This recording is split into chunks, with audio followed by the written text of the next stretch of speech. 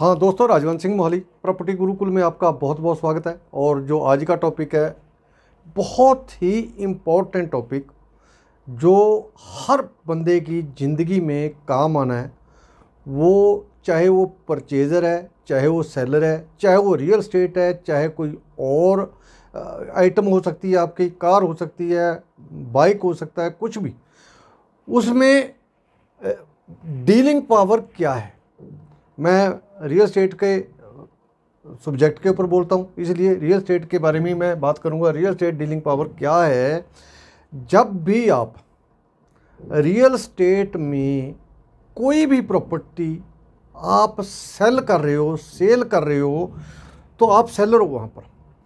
तो आपने अपने दिल की बात परचेज़र को नहीं बतानी।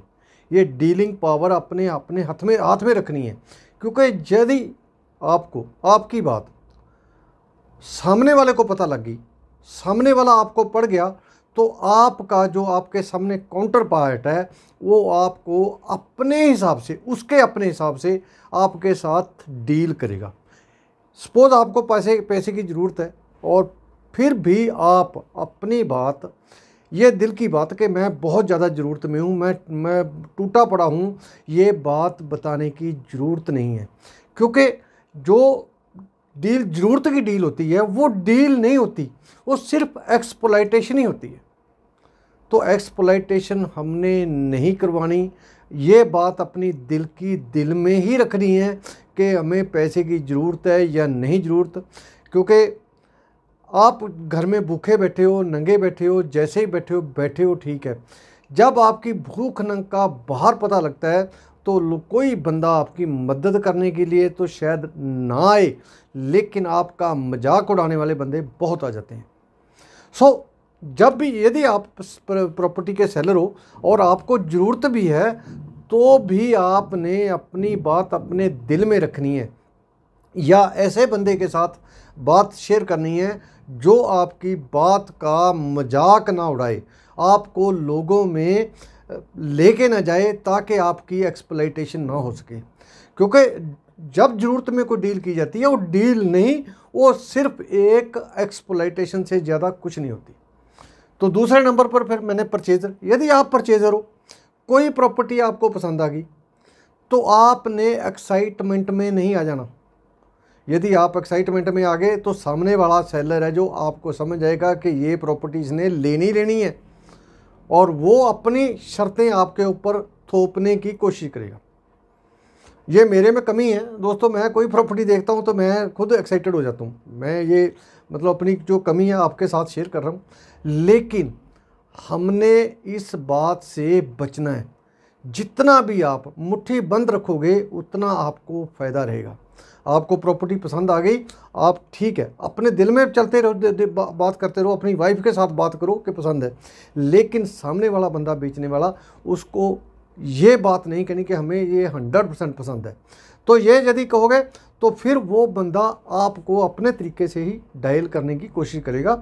तो आपको यदि कोई इसमें रेट कम होने की गुंजाइश होगी, वो नहीं होगी। आपको टाइम की कोई ज़रूरत होगी टाइम आपको ज़्यादा चाहिए, वो नहीं आपको मिलेगा। और कहीं आपका लोन का कोई चक्कर है, वो आपके सारी की सारी सहूलतों पर मतलब क्रॉस कर देगा, उस पर काटा फेर देगा, यदि उस आदमी को आपके दिल की बात पता लग जाए। इसलिए अपने दिल की बात किसी को नहीं बतानी। सीक्रेट, जो सीक्रेसी है, वो किसी भी बिज़नेस का रीढ़ की हड्डी होती है तो यदि हम सीक्रेसी मेंटेन करने में कामयाब हो गए तो हम हंड्रेड परसेंट अपने मिशन में कामयाब हो सकते हैं। गुप्ता शब्द है। गुप्ता का मतलब ही जो आदमी गुप्त अपने अंदर गुप्त बात रख ले। मतलब मैंने ये किताब में पढ़ा था, गुप्ता का मतलब है, ये बनिया जो कम्युनिटी है, अग्रवाल कम्युनिटी है, बहुत ज़्यादा मतलब ये पूरे दिमागी आदमी हैं और पूरा बिज़नेस में पूरे मास्टरमाइंड माने माने जाते हैं। तो गुप्ता का शब्द है जो, वो सिर्फ़ गुप्त से ही आया है कि वो अपने गुप्त भेद किसी को नहीं देता। इसीलिए वो कामयाब बिजनेसमैन है। सो आपने भी कामयाब बिजनेसमैन की तरह, या कामयाब परचेजर की तरह, या कामयाब सेलर की तरह अपने दिल की सारी की सारी बात सामने वाले पे नहीं रख देनी। यदि आप नहीं रखोगे तो आपका फ़ायदा डेफिनेट होगा। यदि आप रख, रखने में, अपनी बात दिल में रखने में कामयाब नहीं होते तो आपका नुकसान भी हो सकता है। तो दोस्तों, छोटा सा टाइप चैप्टर था, लेकिन ये बहुत इंपॉर्टेंट है क्योंकि सेलर परचेजर आपने कभी सेलर बनना है, कभी परचेजर बनना है, ये चल नहीं है। रियल स्टेट को भी छोड़ो, यदि आप ज़िंदगी में कोई बाइक भी लेते हो कार लेते हो, उसमें भी आपका सेलर परचेजर का आता है। तो वो भी वहाँ पर, यदि आप अपने दिल की बात वहाँ बताओगे तो वहाँ भी आपका नुकसान हो सकता है। सो दोस्तों, आज के लिए इतना ही। जिन दोस्तों ने चैनल सब्सक्राइब नहीं किया, चैनल सब्सक्राइब करके घंटी वाला बटन दबा दो।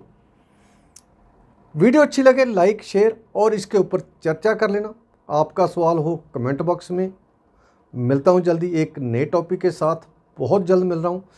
आप अपना ध्यान रखें, ये बातें सीखते जाएँ, पढ़ते जाएँ, बढ़ते जाएँ। हम पढ़ेंगे, तभी तो आगे बढ़ेंगे। थैंक यू वेरी मच मिलता हूँ जल्दी, बहुत जल्दी। Thank you